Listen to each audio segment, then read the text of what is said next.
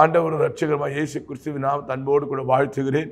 தேற்று வார்த்தைக்கு நானும் தம்பி செய்து ஜெபிக்கும் போது கத்தர் அருமையான வசத்தை காண்பித்தார். ஆதியாகமம் புஸ்தகம் இருபத்தி நான்காம் அதிகாரம் நாற்பதாவது வசனம்.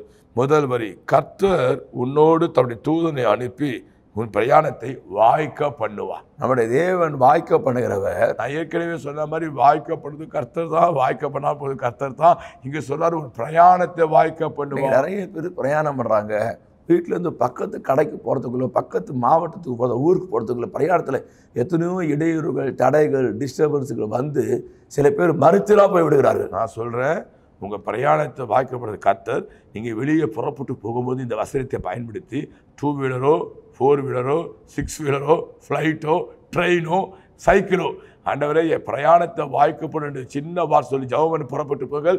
விசேஷமாக இன்றைக்கு காலைல நிகழ்ச்சி பார்க்குற நீங்கள் இன்றைக்கு முழுவதும் எங்கெங்கெல்லாம் நீங்கள் பிரயாணம் பண்ணணும்னு திட்டமிடுகிறோம் அந்த பிரயாணத்தை கர்த்தர் வாய்க்க பண்ணுவார். வழியிலே கர்த்தர் கூட இருப்பார் தூதனை அனுப்புவார் தள்ளாதபடி பாதுகாப்பார் விழாதபடி பாதுகாப்பார் பிரயாணங்களை வாய்க்க பண்ணி உங்கள் பிரயாணம் இன்பமா இனிமே இருக்கிற காரணங்களை கர்த்தர் செய்து உங்களை சந்தோஷப்படுத்துவார். பிரார்த்தனை அன்பின் பரலோக பிதா அருமையான கால எலியேச பிரயாணத்தை வாய்க்க பண்ணின கர்த்தர் நிகழ்ச்சியை பார்க்குற ஒவ்வொரு பிள்ளையுடைய பிரயாணத்தை வாய்க்க பண்ண ஜெபிக்கிறோம். தூதனை அனுப்பி பிரயாணத்தை வாய்க்க. பிரயாணத்தில் எல்லா தடைகள் இடையூறுகள் போராட்டங்கள் விலக்கி பிரயாணம் இனிமையா இருந்து மகிழ்ச்சியா இருக்க உதவி செய்யும். இயேசுவின் நாம ஜெபிக்கிறேன் ஆமென். இன்றைக்கு உங்கள் பிரயாணத்தை வாய்க்க God bless you. பண்ண